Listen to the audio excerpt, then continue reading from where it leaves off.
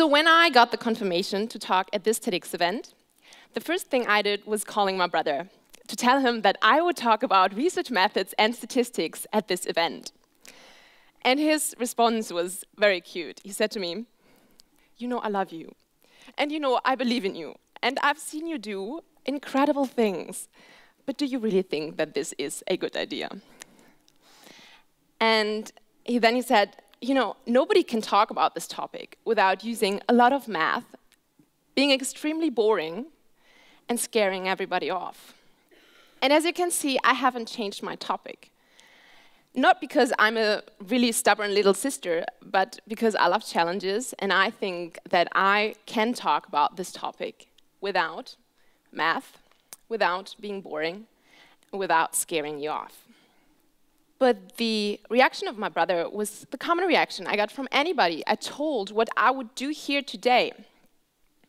And that made me reflect on the motion we have towards research methods and statistics. And hearing just the term seems to bring up all the negative emotions and associations we have towards this topic.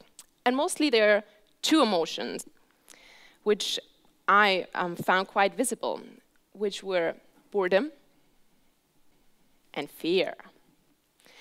And if you try to put these two together, you realize how weird this is, and I actually tried it. Because these two can be located at the extreme ends of a continuum of arousal. And here you can see what it might look like if you try to put both of them together. So this shows how weird the emotions are we have towards research methods and statistics. However, despite their disparity, they share a common reaction in people. Because when we are afraid, we have learned that the only right way to behave is run away as fast as we can and hide. And when we're bored, things don't even cross the cutoff line to make us care at all. So both of these emotions lead to avoidance. But avoidance leads to more ignorance, to more disbelief, to more doubt we fear how research methods and statistics might trick or deceive us, and this is how a vicious cycle is born. And now whenever somebody tells me about the torture of being sent to a research methods and statistics class, or when somebody is complaining about some form of information presented too geeky, I always realize this person is trapped in this vicious cycle. And this makes me always really, really sad because I think little that you know how much you're missing. And you might tell me now, come on, this is research methods and statistics. What could we be possibly missing out? And I tell you, how about feeling powerful, feeling in charge, feeling free, independent, and incredibly proud? At least these were my feelings, the feelings I had back then in second semester of my undergrad studies when I conducted my first own little research project. And that was the moment when I became aware of the power of methods and the empowerment given to the ones who know how to properly use them. In that moment, I had mastered methods instead of been mastered by methods. So now, to all of you who think that individual empowerment is not enough motivation to overthink our attitude towards research methods and statistics, I would like more to elaborate on why it made me feel this way. To the ones who ask me, why should we care? I tell you, I'll show you what happens if we don't. Before I'll now go on with the next part of my presentation, I'd like to introduce it with a quote that many of you might know that fits, I think, quite well the context of my presentation. Because fear is the path to the dark side. Fear leads to anger, anger leads to hate, and hate leads to suffering. This is a quote made by Yoda. but that doesn't make it less true, and that's what I will show you now in the following. Others before me have envisioned worlds with wizards, with vampires, with hobbits, and today I'll try to be as courageously creative and imagine a world without method. So we're now abandoning the conviction of the exclusivity or ranking view, and now not assuming anymore that scientifically produced knowledge is the only or the best kind of knowledge. And I now would like to describe a situation, a little utopia to you. Today is your annual assessment. You're entering your boss's office and he sits there behind his big desk, but instead of a big pile of papers, he suddenly takes out a dice. Maybe a smaller one than this one, depending on his ego problems. And like I'm doing now, he rolls it and it's a three. Then he looks at you and says, We're really sorry. We're really, really sorry. We have to cut your payment by 20%. We've done that to all the people who received a free. This is the fairest procedure we can think of. We have financial restrictions from the top, so I'm sorry about that. Yeah, surprisingly, a few weeks later, he sees a huge increase in employee satisfaction. What a surprise. So now he decides to once again go back to the scientific paradigm. He sends out a survey link to ask the employees about their opinion.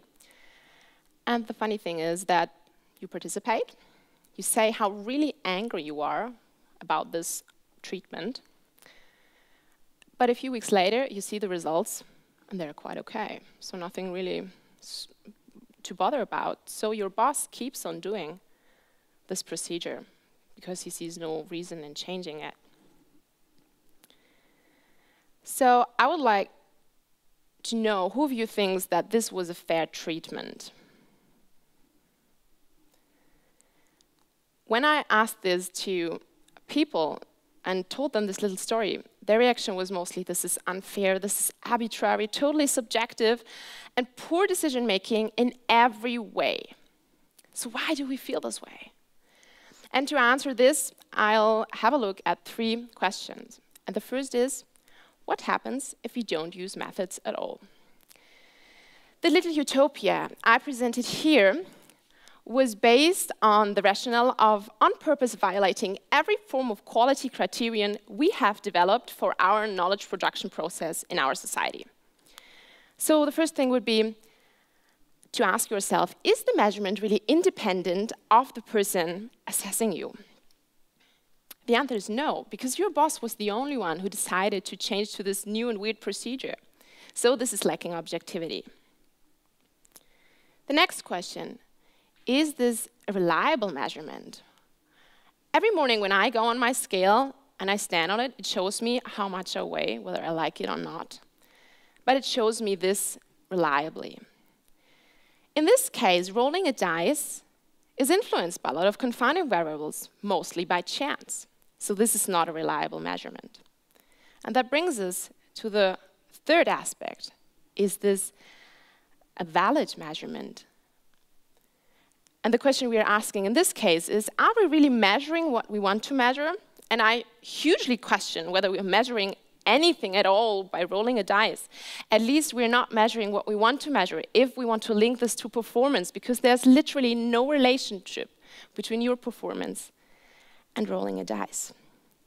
And you might say, now, okay, yeah, great, you've created this great utopia, everything works out fine, so why should we bother? And I said, I admit, I developed this to increase the effect size, to make visible what might be overlooked in this wall. I've never met anybody who told me, yes, when I make decisions, I think about these three concepts every time. We don't do this. We leave this to researchers, to statisticians, because we don't think this is important. But by doing this, we willingly accept to choose a wrong candidate for a job position, to punish our children more severely than would be fair, and in general, make our lives so much harder by making bad decisions. So, to all the people who now are in research, we should feel obliged to this quality criteria and They are not only quality criteria for quantitative research, but also for qualitative research. And we should prove ourselves worthy with the great trust society has given upon us to produce good and sound knowledge. So now, what happens if you use methods, but we use them poorly? Before we do that, I'd like to ask you three questions to reflect on, which is the first, who of you values free speech? And please, I know everybody's tired, but raise your hands. Yes, so there are a lot of people who value free speech. Amazing. Who of you um, cares about standard deviations? Woo! No, okay. Oh yeah, one person, thank you very much. And who of you thinks that there is a relationship between free speech and standard deviations? Okay, I think I'm the only one, but I'll explain why I think there is a relation. Let's look at the survey results. So here you can see what the results of the survey of your boss were. Nothing really surprising, everything is fine. I understand why he keeps on doing what he's started to do. But now I show you a different picture. I put in here a graphical visualization of standard deviations. And as you can see, okay, standard deviations means and show how much the individual rating differs from the mean. And now you can see that not everybody was so satisfied. Actually, there were huge differences. And I'll start with one explanation why that might be the case. So imagine that there were three departments and only the last two received the DICE treatment. But because nobody bothered to report any information on standard deviation, variance, inclusion or exclusion criteria, you had just this one mean average. And you, who were really dissatisfied with the treatment, you were silenced. Nobody knew what you expressed as an opinion because somebody thought it was enough to report a mean. And this goes not only for answering questionnaires, when you think about sampling, you see that we should make sure that we ask the ones we really are interested in. When you're interested on the effect of a treatment, ask the ones who are affected by it. So whenever you think this never happens, because this is so obviously wrong that nobody would do this, I ask you, how often do we talk to the ones who are there instead of searching the ones we ought to talk to? How often we listen to the ones who scream to our faces instead of making the ones who don't speak up talk to us? And this is a big thing. Whenever you do a study, you're giving somebody the opportunity to speak up, to say what they think about the world. And this is very important. Make sure you talk to the right people. You give them the chance to express what they think about the world. Even when they're silent or invisible, make them visible. This is how you secure that minorities are heard, that we value pluralism and have diversity in our society. I now want to talk to people who are asked to participate in surveys, refuse, and don't think that this is a problem. Imagine our situation when all the departments received the DICE treatment. Why is the first department still so much better off, or why do they have so high satisfaction rates?